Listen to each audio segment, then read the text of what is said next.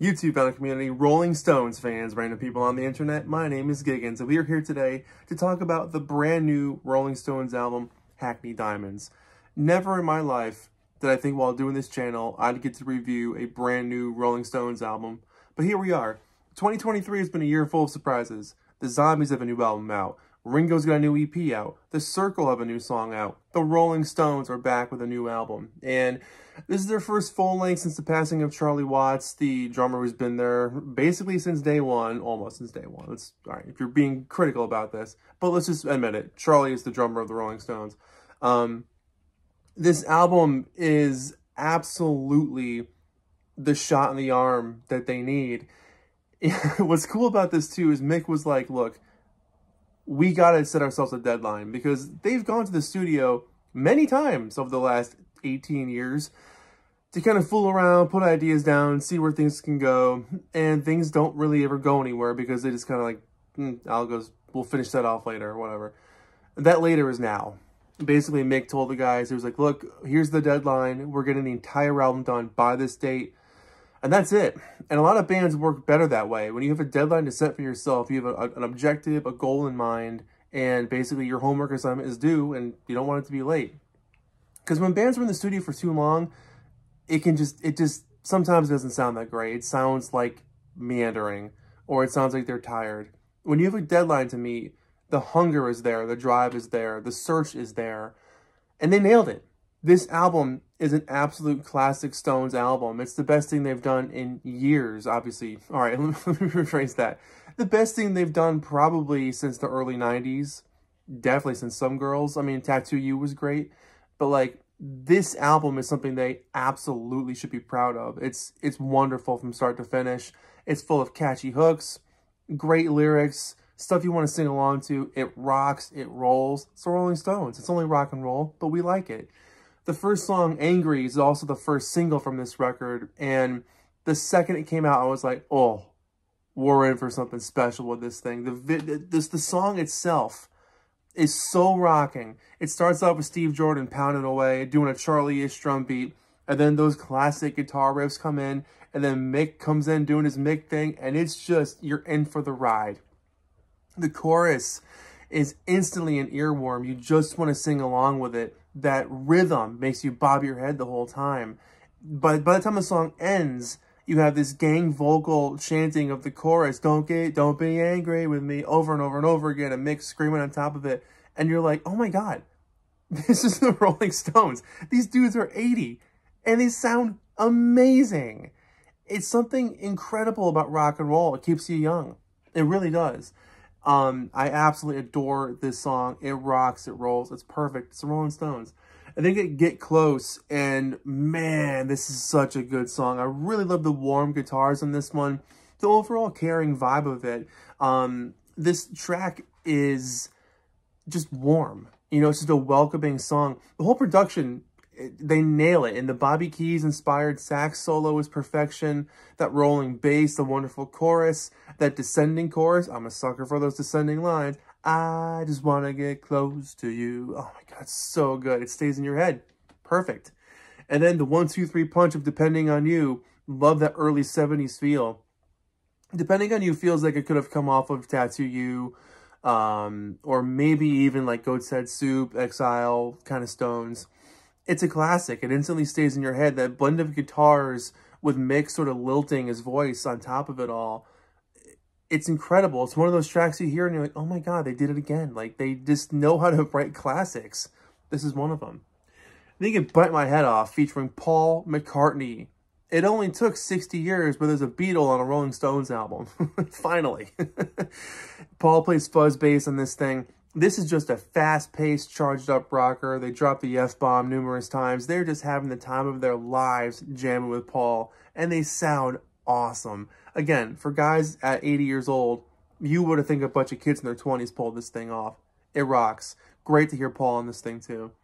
Whole Wide World. This song is definitely another um, left turn, I would say. It's got like an overall weariness to it, but it allows the choruses to be a little more optimistic, I guess, because the song itself is about just kind of getting like, you feel like the whole wide world's against you and, you know, the chorus is almost like a bit of a hug, where it's got this warmer feel to it. But, um, you know, it's a cheer you on type of song, and I, I dig it a lot. Great track. And then Dreamy Skies ends off side one, and they these guys are just masters at country blues. They just know what they're doing. This thing rules. Um, they deliver. Can't go wrong. Excellent to hear Mick on this thing. It's just the whole bluesy vibe. It's perfect. Side 2 opens up with two songs featuring Charlie Watts on drums, and I'm so thrilled he's on this album. You know, it's just, it wouldn't be a Stones album without Charlie, so he's on Mess It Up here. And this song is really decent. You know, it's definitely one of the popular songs on the album. The chorus itself is super poppy, but it works. It's a song about keeping things together when things might not be feeling together. And then Live by the Sword reunites Bill Wyman with Charlie, Ronnie, uh, Mick, and Keith. So you get the uh, the Stones that existed from 74, 75 to about 1993, 92. And it's really great hearing that version of the group together again. It's like, it instantly sounds like them. The rest of the album sounds like them too, even though Bill and Charlie aren't on it. It still sounds like the Stones. It's a pretty incredible feat in terms of what the other guys who play on this thing can do, especially Steve Jordan on drums. He doesn't have the exact same swing that Charlie does, but he really is a master at getting very, very close and giving the Stones that feel, because the Stones are all about the drums. The guitars, of course, but without Charlie underneath it all, you don't have a Stones song. Fight me in the comments. but Live by the Sword, it's a decent song. It definitely rocks its way through. Um, not my favorite on the bunch, but still for historicalness, the historicalness of it, it's it's an incredible song just for that. Tell Me Straight, Keith sings lead on this one. A little bit of a darker song. Um, it's not bad, you know, for the, the emotional roller coaster you go through on this album. It's kind of nice to have a moment like that where it's a little bit calmer because what comes next is nothing short of a masterpiece from the Rolling Stones, Sweet Sounds of Heaven. Absolutely one of the best songs they have ever done. Lady Gaga on this thing is phenomenal. Absolutely phenomenal. And Stevie Wonder on piano. I mean, like, the list on this album of celebrities is incredible. Elton John's also on this thing, by the way. Not in this song, but he's on, on the album. Um, Sweet Sounds of Heaven is a song that grows and takes its time. On the on the album, you get the longer version. They also put out a single version as well, which kind of puts Lady Gaga further up in the mix um, in the beginning of the song for the first chorus. But this track, it shines. It takes its time, it grows, and it just delivers over and over and over again. It's one of the most rewarding experiences as a Stones fan I could think of, where it just, it just hits all the right marks. You want it to grow, you want the big bright horns, you want Lady Gaga screaming away, you want Mick screaming away, you want them going back and forth, call and response. It's all there. I mean, they just nail it. And the album ends with Rolling Stone Blues, a song that they got their name from, the old Muddy Waters track, and they finally did it. It took them 60 odd years, but they finally put this song on one of their albums, and it's great. You know, the harmonica, the guitar playing, the almost raw production to it lends itself to the old school blues feeling. And it's a perfect closer. This album is something special, and as I'm making this video, word just came out about an hour ago that this thing has debuted at number three on the Billboard Top 200. Um, just behind Drake, and at number one is Blink-182. So, with their new record. And it is incredible that the Rolling Stones are in the top five, top three. They're in the top three with a brand new album in 2023. Who would have thunk, if you've been a fan for all these years, that we could say something like that? And it's absolutely well deserved. This is one of their best albums. It's catchy, it's fun, it's it's it's poppy in the right moments. It's exactly what I would have wanted from a Rolling Stones album in 2023. I want something that's rocking, fun to sing along with, endearing, reflects on their past, but also looks very forward. Nothing about it sounds like they're resting on their laurels. Nothing sounds like they just want to be a version of the Rolling Stones. They're just making music in 2023. And if it sounds like some of the older stuff, great. If it sounds like something totally new, even better. They nailed it. They really nailed it. So for me, this is easily a 9 out of 10. It's one of the best Stones albums.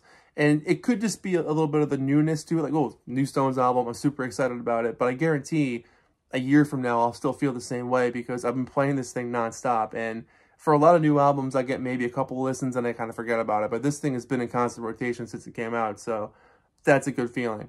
It's a good sign. Um, here's the inside. One thing I will, I guess, um, give a, a critique to is that I really wish there was a picture of the Rolling Stones on here somewhere. like, just, just one single picture. This happens to be their well website exclusive.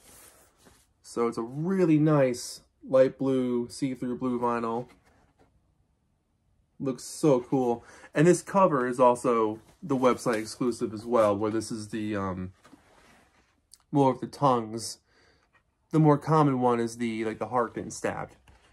But you know, for guys who are 80 years old, and I I don't mean to keep bringing that up, but a lot of people get into their 40s or 50s or 60s as musicians and kind of stop and just rely on what they did in their 20s and 30s.